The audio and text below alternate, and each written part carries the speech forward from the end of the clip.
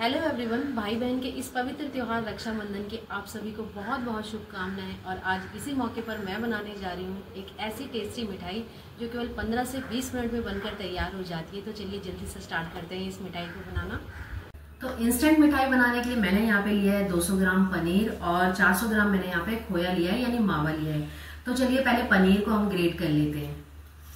इस मिठाई को बनाने के लिए मैंने यहाँ पे खोया जो है ना, कल रात को ही बनाकर तैयार कर लिया था और बहुत देर हो गई थी रात को, इसीलिए मैं पनीर नहीं बना पाई। मैंने सोचा था दोनों चीज़ मैं घर पर ही बनाकर तैयार कर लूँगी, लेकिन लेट होने की वजह से मैं इसे नहीं बना पाई। फिर मैंने सोचा, यार, कोई बात नहीं, पनीर तो हम डेयरी से भी ला सकते हैं। तो ऐसा कोई ज़रूरी नहीं है, आप पनीर और खोया दोनों डेयरी से भी ला सकते हैं और फिर इसे फटाफट से बनाकर तैयार कर सकते हैं। तो चलिए, पनीर को कर लिया है मैंने अच्छे से ग्रेट और अब मैं खोया को पैन में डालकर इसे अच्छे से रोस्ट कर लूँगी। पनीर और मावा से बनने वाले, मुँह में घुल जाने वाले ये लड्डू ना इतने आसान है ना बनाने की। कोई भी इन्हें एक बार में एकदम परफेक्ट तरीके से बनाकर तैयार कर सकता है। और जैसे कि मैंने आपको बताया कि 15 से 20 मिनट में ये बनकर तैयार हो जाते हैं। आठ से दस मिनट तक हम धीमी आँच पर इसे ऐसे ही लगातार भूनते रहेंगे ताकि जो ये मावा है, खोया है, ये अच्छे से भून जाए और लो फ्लेम पर ही हमें इसे भूनना है। फ्लेम अगर हम तेज कर लेंगे ना तो एकदम से ये जल जाएगा सारा का सारा। तो इसीलिए गैस की फ्लेम का थोड़ा सा हमें ध्यान रखना है। दस मिनट हो गए हैं मुझे मावा को इसी तरीके से भूनते हुए, और जैसा कि आपको दिखाई दे रहा होगा कि इसका हल्का सा कलर भी ना चेंज हो गया, और थोड़ा थोड़ा ना मुझे खुशबू भी इसकी आने लगी है।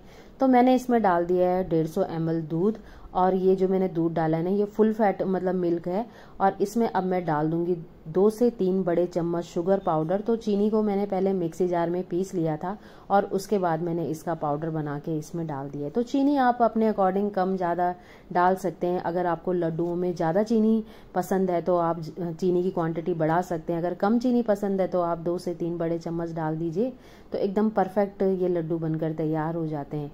तो इन सभी चीज़ों को हमने अच्छे से मिक्स कर लेना है। और उसके बाद हमने इसमें डालना है पनीर, जो हमने पहले से ही ग्रेट करके रखा हुआ था। तो चलिए, अब पनीर को खोया के साथ अच्छे से मिक्स कर लेंगे और इसे लगातार ऐसे ही मिक्स करते रहेंगे जब तक कि ये गुथे हुए आटे के समान एकदम गाढ़ा ना हो जाए, तब तक हम इसे लो फ्लेम पर इसी तरीके से बार बार हिलाते रहेंगे। अगर हमने बीच में इसे छोड़ दिया ना हिलाना तो ये नीचे से मतलब चिपक जाएगा और हमारे जो लड्डू है ना, वो खराब हो जाएँगे, अच्छे से नहीं बनेंगे। तो इसे लगातार इसी तरीके से हम चलाते रहेंगे, जब तक कि ये एकदम थिक बैटर इसका बन ना जाए। और ये देखिए, ये गाढ़ा होना शुरू हो गया है और मैंने अब गैस की फ्लेम को कर दिया है बंद और अब हम इसे ठंडा होने देंगे। और जल्दी से ठंडा करने के लिए हम इसे निकाल देंगे अलग से एक थाली में। बहुत ज़्यादा ठंडा भी नहीं करना, केवल हल्का सा ही ठंडा हमें इसे करना है। और ये जो मुँह में घुल जाने वाले लड्डू है ना, ये केवल दो इंग्रेडिएंट से बनकर तैयार हुए हैं, पनीर और मावा। बाकी का जो बेसिक सामान होता है वो तो हमारे घरों में होता ही है और इसे अच्छे से मैंने फैला दिया है प्लेट में ताकि ये जल्दी से ठंडा हो जाए। और अब मैं इसमें डाल रही हूँ रोज इसेंस और रोज इसेंस डालने से इसका जो टेस्ट है लड्डू का वो बढ़ जाएगा और साथ ही इसमें से खुशबू भी बहुत अच्छी आएगी। तो अगर आपके पास हो ना रोज इसेंस तो आप ज़रूर से डालें और अच्छी क्वालिटी का रोज इसेंस डालेंगे ना तो बात ही कुछ और होगी। और अगर आपके पास रोज इसेंस नहीं है ना तो कोई बात नहीं, आप इलायची पाउडर भी यहाँ पे डाल सकते हैं। अच्छे से इसे मिक्स कर लेंगे बैटर के साथ और जब ये अच्छे से मिक्स हो जाएगा ना बैटर के साथ तभी हम इसके लड्डू बनाकर तैयार कर लेंगे। तो देखिए, मैंने इसे एकदम अच्छे से मिक्स कर लिया है। आप चाहे तो हाथों से भी मिक्स कर सकते हैं इसे। और इसके बाद में इसके लड्डू बनाकर तैयार कर लेंगे। तो छोटे, बड़े जैसे भी लड्डू आपको पसंद हो, आप बनाकर तैयार कर सकते हैं। तो क्यों? है ना कितना आसान इन लड्डुओं को घर पर बनाना और एक बार में ही आप इन लड्डुओं को परफेक्ट तरीके से घर पे बना सकते हो। वो भी बिल्कुल बेसिक सामान से जो भी हमारे घरों में होता है। तो केवल दो इंग्रेडिएंट से हमने इसे बनाकर तैयार किया और बहुत ही कम टाइम में हमने इसे बनाया है। तो इस फेस्टिवल सीज़न एक बार तो ये लड्डू ट्राई करना बनता ही है फ्रेंड्स तो आप भी इसे ट्राई करना। आपको भी ये खूब पसंद आएँगे।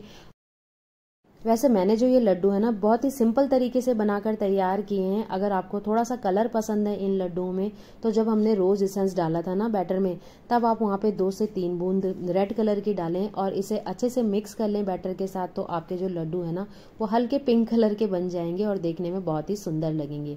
और अगर आपको कलर नहीं पसंद खाने में तो आप इस तरीके से, बिल्कुल सिंपल तरीके से ये लड्डू बनाकर तैयार कर सकते हैं। और हमारी जो रक्षाबंधन की तैयारी थी ना, उसकी शुरुआत हो चुकी है। और मैंने ये जो लड्डू का डब्बा है, ये पैक कर लिया है रक्षाबंधन के लिए।